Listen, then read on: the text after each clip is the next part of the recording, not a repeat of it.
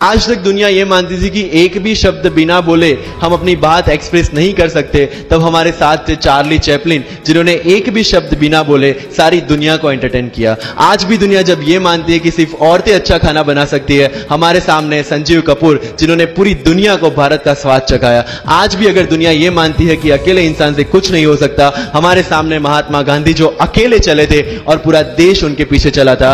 आज भी दुनिया अगर ये मानती है कि धनवान बनने के लिए धनवान घर में पैदा होना ज़रूरी है। हमारे सामने धीरूभाई अंबानी, जिन्होंने पूरी दुनिया को एक सपना दिखाया, कर लो दुनिया मुट्ठी में। और आज रिलायंस इंडस्ट्री वर्ल्ड की और इंडिया की सबसे बड़ी इंडस्ट्री है। आज भी दुनिया अगर ये मानती है कि हम कम एज ज़्यादा एज में कुछ नहीं कर सकते, हमारे सामने अमिताभ बच्चन, जो आज भी एक साल में तीन ब्लॉकबस्टर मूवीज़ देते हैं। अगर आप ये मानते कि सिविल सर्विस में आने के लिए आपका बैकग्राउंड होना ज़रूरी है, आपके सामने Shahrukh Khan without any background आज भी बॉलीवुड का बादशाह है। अगर आज तक दुनिया ये मानती थी कि हम सिर्फ़ धरती पे रहने के लिए बने हैं हमारे सामने नील आर्मस्ट्रॉन्ग जो चंद्र पे जाके आए। आज तक हम ये जानते हैं कि हम क्या है।